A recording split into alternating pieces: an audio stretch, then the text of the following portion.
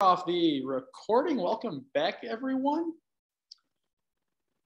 Our review session of the full stack of interactive visualization, whatever that means. What that means, we are going to cover in the next few minutes.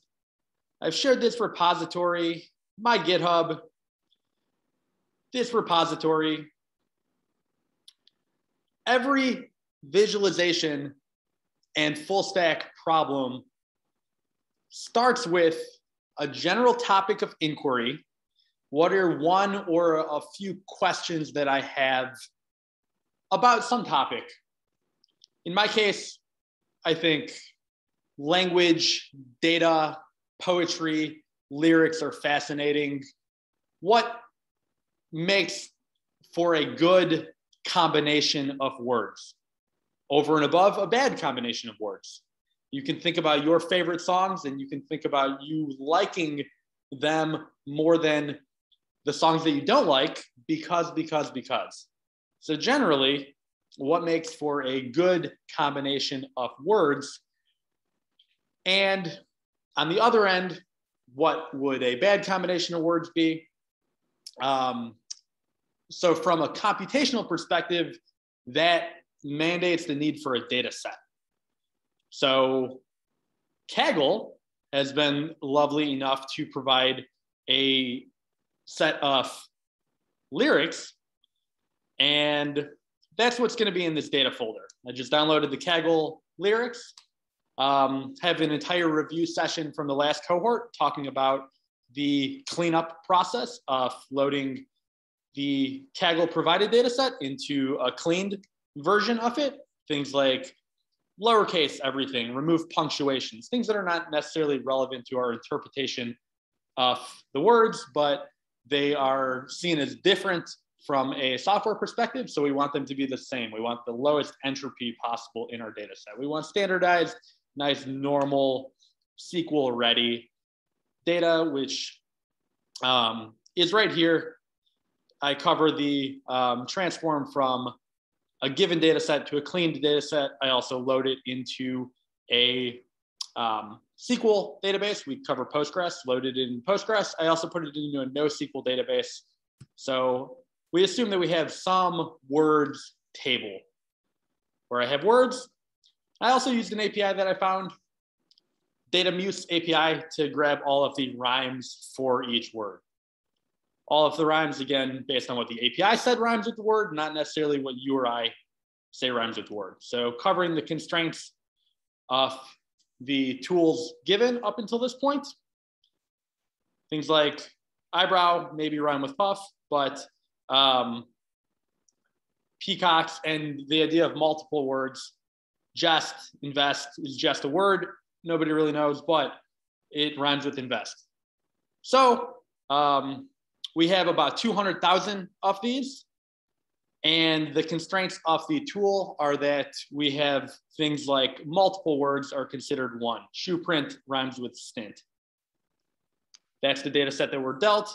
And again, that process is covered um, in the previous review session of grabbing the Kaggle data, um, splitting every unique word that is presented in the Kaggle lyrics data set, grabbing all the rhymes for each word and populating a NoSQL database. This could be Mongo, this could be any NoSQL database. I went with Dynamo um, just to keep everything under the AWS roof.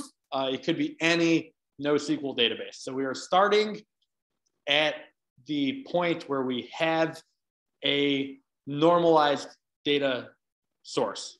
I can look up a word and I can get rhymes associated with that word. So, that being said, what did I want to do with it? What I wanted to do was create a general multi-purpose tool, which is right here. I can, using GitHub pages, another thing we covered, open link in new tab, get a nice little fabric, favicon gives me this nice little icon right here. I wanted to just be able to put in words and get how many rhymes. Right away, I can tell that a lot more things rhyme with cat than rhyme with dog. I also wanted to live vicariously and amplify my um, dream of being Dr. Seuss and get all of the rhymes associated with each word. Uh, and we, we get that just by clicking an individual bar. Here are all the words that rhyme with dog, gulag, hot dog, and again, accounting for the constraint or benefit of the tool that we're dealt. Um, also have a toggle for including multiple words, which we default um, to not including multiple words, but we can kind of explore what including um, multiple words in the response would actually look like. So here was the end product. What I actually wanted to build was just a visual representation of the quantity of relative rhymes found with each word. So how do I actually do that from a coding perspective?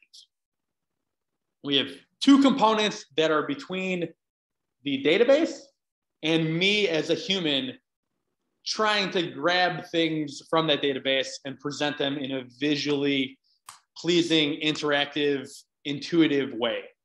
I have a front end and I have an API because the entire software workflow is going to be human talking to a front end, HTML, talking to a back end, our case is going to be Python. We're going to talk about a lot of Python review today. Hopefully, we can use this as a opportunity to reiterate all of the fun, nice parts about Python that people might have forgotten, and implying that that Python backend can actually talk to and uh, query the database that we know we have up and running.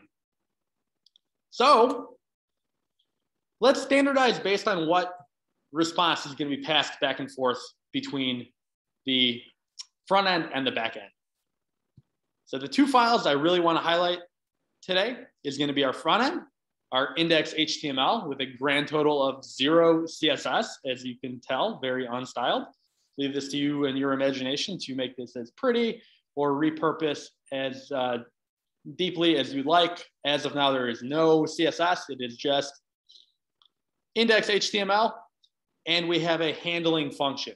So we're talking about in front end as index HTML that I can present as a web page. GitHub Pages makes this very trivial to give myself a URL to present any HTML. And that front end has the ability to talk to a backend. And that backend has the ability to talk to a database and complete the chain of person to front end to backend to database pendulum swing of information flow. So you can go into the two files that I have available. My front end, index HTML, and my backend, lambda function, .py. What I wanted on this end, I have a nice little favicon, nice little icon, have a title, and I use our lovely Plotly for the requirement of using a third-party library. Also, way easier than coding any of this stuff in raw JavaScript. I just wanted to grab words and an array of words that rhyme with that word and generate histograms from our API input. And to get front-end input into a form that an API can digest it, we need some things like input to actually grab the words in. And I wanted a checkbox to be able to include or exclude multiple words. Because words that rhyme with uh, multiple words seem to include that word itself in the rhyme. Dog rhymes with hot dog, obviously. Um, so I wanted that on the front end as a toggle capability. Zero CSS in this entire thing. If people wanted to style it, we would just add, um, add some style up here in the head. But I'll leave that up to anybody that wants to. We have to have a URL. That is where our data is going to come from. That is our address to request data and be able to return it to the front end. We'll look at the code behind this as well. If we can think about this in a Flask perspective, I would title today as Beyond Flask. What is a serverless way to provide data to a front end? And we can think about Flask being fantastic if we want our API available 24 7 on all the time. That has obvious performance benefits for applications that are going to have 24 7 usage, like Netflix, has somebody requesting information at every minute of the day. It's big enough where it has people all the time. Your in My Visualization app probably doesn't have people every second of the day requesting it. We only need a response just in time to actually drive the users that are actually going to be requesting our app to feed them a response just in time. So we're going to show a serverless type way, which hosted on Amazon AWS. Again, serverless is a framework every big cloud provider um, has an offering. Amazon is going to call it Lambda. Microsoft Azure is going to call it functions. But the idea is that a backend function can be one to one with a URL that is provided by that hardware broker. So I can rent some hardware, I can put a function on it, and I can make it available to the internet for anybody to be able to uh, request. And it spins up and it does my processing, everything that Flask could do just in time. And so we'll get into the Python of what actually handles this on the other end. But uh, moral of the story is I wanted to uh, split um, words on commas. Basically, this just removes all the spaces. And um, I wanted this as a Boolean parameter. This returns true, true or false if that checkbox is checked. Remember that I can feed parameters to a URL like this. And I can build a URL to include multiple parameters with this ampersand. So I have two pieces of information on the front end that a user can dictate. Me as a user, I can specify a set of words to rhyme and yes or not yes to include the n-grams. A single word is a one gram. Hot dog would be two, a two gram. So common in language processing is the idea of an n-gram. So multiple words together, three words in a row would be a three gram. So if I want to include the n-grams, I just append an additional parameter to my URL. And this is shorthand for get URL equals get URL plus, including that. And then fetch. That's my gateway to the internet in JavaScript speak. We remember d3.json. It's built on top of fetch. But the moral of the story is I can fetch some data. I can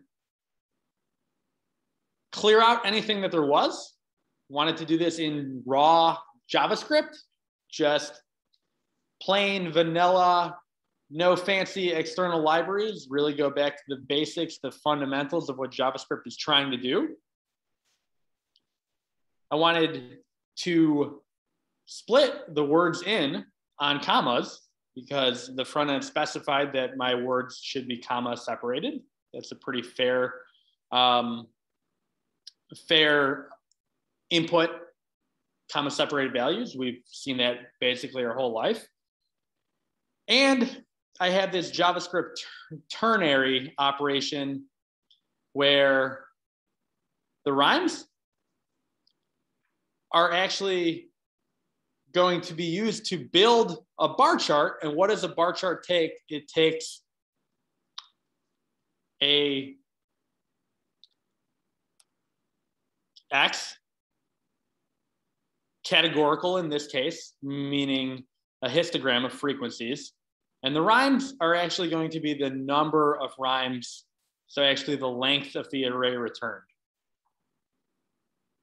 We'll pivot over to the backend and really standardize on the data returned and how the API actually builds that response.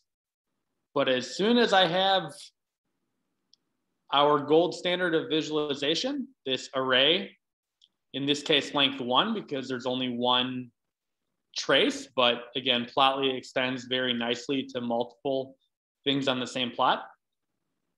And I could add a label and then I can Plotly new plot.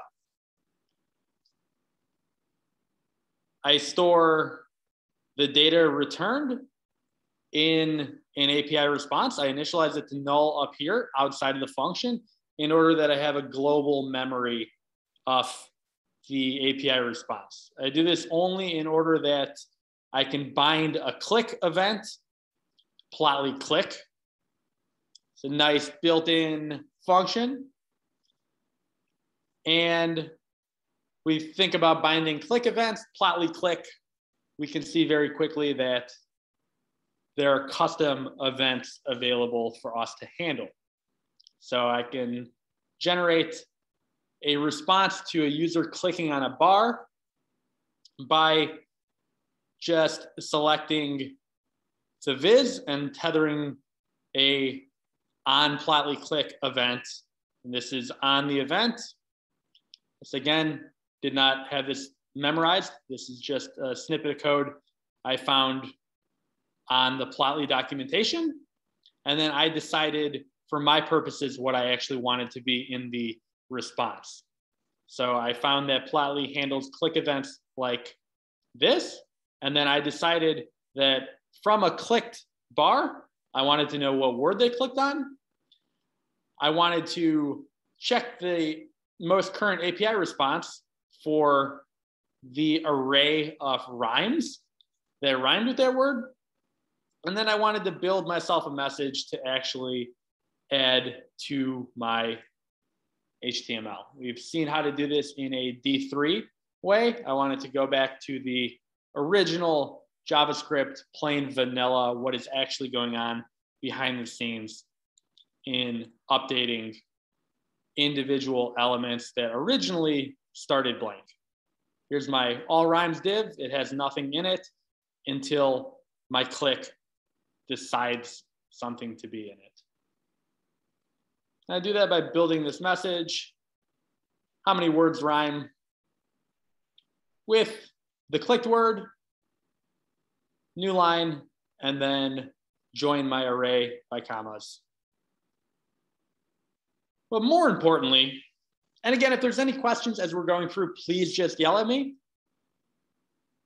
Talk about myself as a user talking to the front end. Here's the front end I'm talking to very minimal HTML. There's all of the functional pieces of HTML that we actually have. 60 lines total, very light. Very, very, very light. On the API side, let's see the Python that's actually making this data available. Again, hosted up in Lambda. I was very excited that multiple um, students actually also went the Lambda route. If you have a Flask app up and running, you can repurpose it very easily because what Lambda gives you is an event and a context parameter. And those are populated by an invocation of whatever invokes it. For this case, I decided to add a trigger. API gateway is what actually builds me a URL. So API gateway, create an API, just this easy. I want to create a REST API and don't need anything additional, just create. It's just that easy. I'm not going to do this because I have one already. but this is actually where our API endpoint is built from. So if I make a GET request to that endpoint, it will build a little container, a little spot in memory for this Lambda function to run and fire off the handler, which you configure specifically what handler do you want to handle the invocation of the URL. So if I know that I want my front end to pass in a comma separated um, list, one or more words to rhyme, I'm gonna code that as a W parameter. We saw that on the front end. And I'm gonna do all my security firewalling things at the top of my function.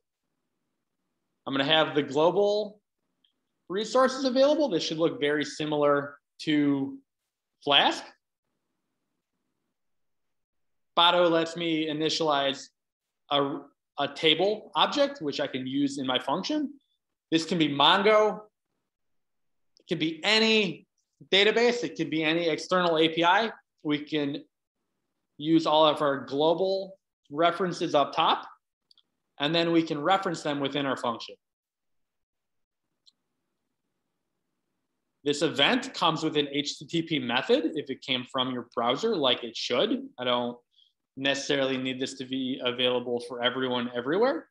I just need it to be available to drive my visualization. So if the API method is not GET, this is a browser specific thing. Sometimes your browser, depending on what browser you use, will actually send off an options pre-flight request. And that's a Google Chrome thing or a lot of browsers will send a pre-flight to say, hey, what methods and what uh, origins can this come from? So actually, because I'm using Chrome, I actually have to send it a pre-flight response back that says I can allow my site and I can allow these methods. If you're doing this on localhost or um, with a separate API. That's not necessarily a requirement, but Google Chrome is going to send this pre-flight options request. But the important part is if it's not either of those, I can cut off my handling right at that point. I don't want to be able to handle post requests. I don't want to be able to handle put any of the other REST verbs. I don't want to be able to handle those. I want my API to die right at that point, not even go any further. So if it is GET, that's where my API starts. That's where my functionality, what I was trying to do, is actually going to begin. Remember, I have these query string parameters, and that's what I pass in with the W parameter and optionally the include ngram parameter. But here's where I do some validation. If I don't have parameters or W is not in my parameters, I can't process anything. It's a bad request. My API isn't going to know what to do with it because it's not going to have any words to actually query the database with. So I do my API validation at this point as well. And we can see that we actually have to format a valid URL query string that is actually representative of a user's desire. What they want to do needs to be encoded in that URL. So if we pass all of those checks, if it is actually a GET request, if it actually has a W parameter, then I could start to actually process that actually formatted request. And here's around the time where I'm happy to go as deep into the Python fundamentals, how Python is going to think about things, what the keywords in the language are actually representative of. Again, not params just means that whatever this was evaluated to false or null or an empty dictionary. Or if there is a parameter and the W key is not in them, this would, um, again, tell my front end that a W parameter would be required. Otherwise, here is all of the nice parts of Python and data handling and really processing a request. Very common convention in API design is to initialize a empty results object, in this case, a dictionary. And I'm gonna take my input. I know it's comma separated. If it's only one word, It'll just give me a list of one at this point. But I'm going to take my parameters. I'm going to take the W parameter out of that and going to split on commas. This gives me a words to rhyme list. And my favorite Python part about lists is I can iterate them. In my favorite Python syntax, I get so sad when I get away from the nice Python syntactic sugar. I can just write nice for loops. I don't have to worry about any of the JavaScript hieroglyphs, curly braces, semicolons, all that. I just can write a nice English for loop. For each word in my words to rhyme, I can iterate each of those words like this fashion.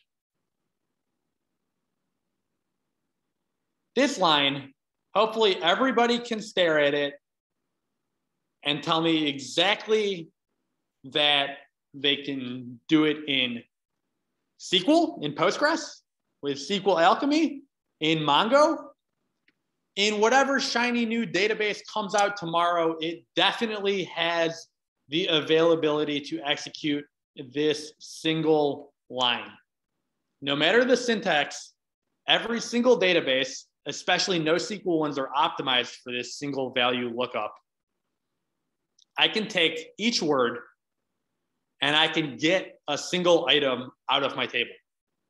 NoSQL is really optimized for those single value lookups. So we can get really good performance on individual lookups. We can also do this in SQL with a normal where clause. I can say select star from table where word equals my input word. And I can get a record out of that. That record at this point returns me a dictionary. If it has an item key in that dictionary, it means that it actually found a record for that. Is Dynamo speak for the record exist or didn't? SQL is going to return um, zero records or more than zero. And Mongo or any of the other databases you choose to use are going to be able to encode the amount of records in some way. So if item isn't in the word record, basically it didn't find a word for that, I am going to add that word to the results dictionary but I'm going to say nothing, none. Python none means none, nothing was found.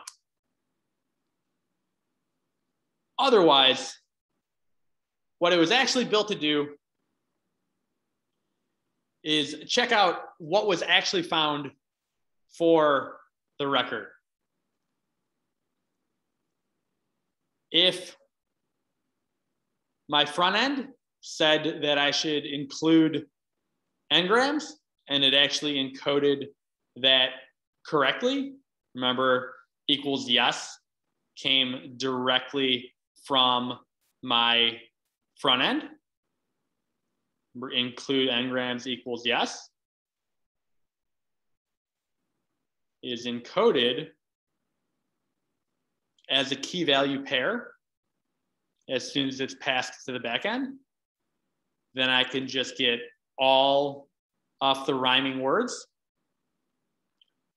Otherwise, I want to omit the ones that have a space in the word.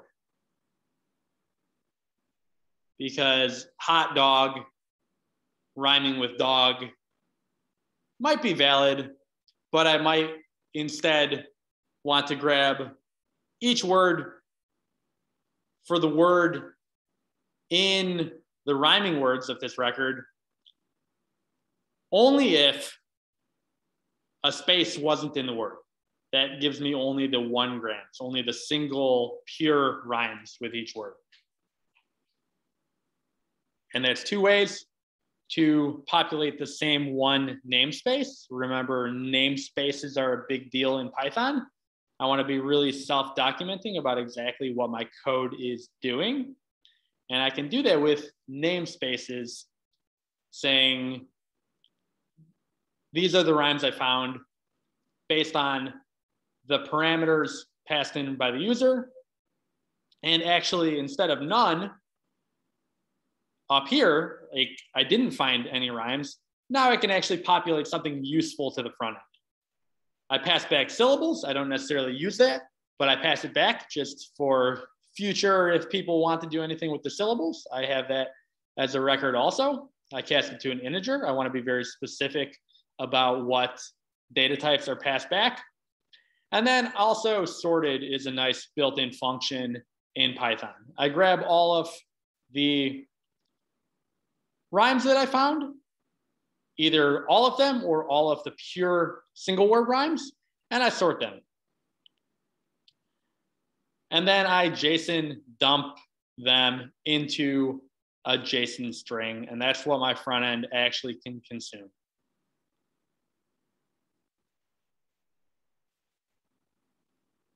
So going back to my front end,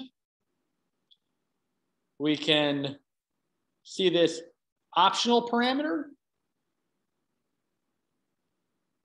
and the lack of alphabetical importance. You know, if I want to start telling a story about a cat and a dog at a zoo, maybe throw in a horse and another word that rhymes with randomly everything. I can hit my API with that and I can get some relative frequencies about how much rhyme with each word, and I can blow through the Datamuse 1000 rhyme limit. I can also check this box, and as soon as I fire off the same request, we can watch a whole lot more rhymes come back. 142 things rhyme with horse. Things like vaulting horse rhyme with horse, so that's maybe a detriment. But also things like vital force. So a vital force can change the course of my horse, of course. And I could be Dr. Seuss immediately, even if I'm not talented by myself, I have automation to help me.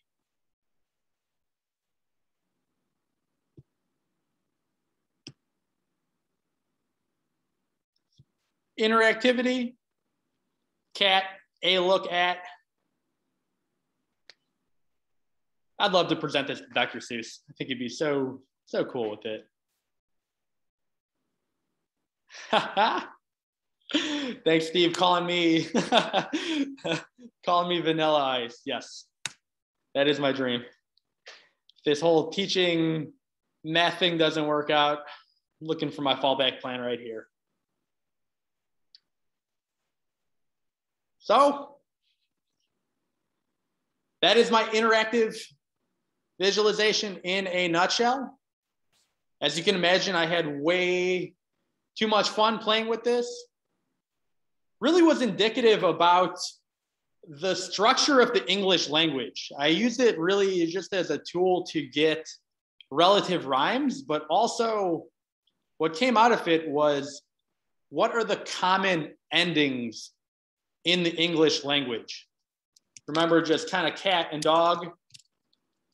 A sanity check is just including the same suffix, if OG is a word. Sanity check, the same amount of words rhyme with cat as do with at. And with og as dog, So quick sanity check really was just indicative about the number of words that rhyme um, with each suffix and more generally the frequency distribution of the words in the country.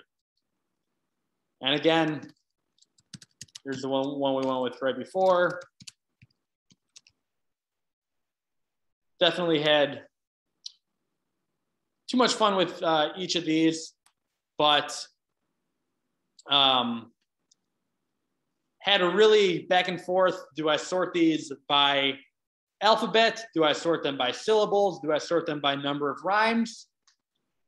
Playing with all of those, said no, I should sort them exactly how the user entered them because that is the most helpful to let me as a user actually match my input to what the visual is rendering. And that really is the core of everything. Visualization is creating something intuitive to map user input into an aesthetic way to tell the story surrounding the topic that they are asking about. So 40 minutes, that was my submission for project two and hopefully a fair overview of everything we have talked about in this course so far. Think front end interactivity, everything back end Python fundamentals, data handling, everything database best practices you can build some pretty cool stuff.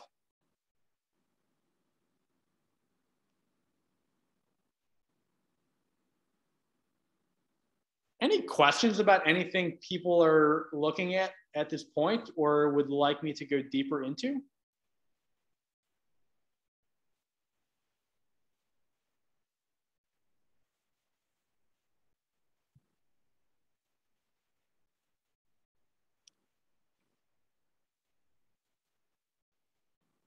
right, I see some chat coming in.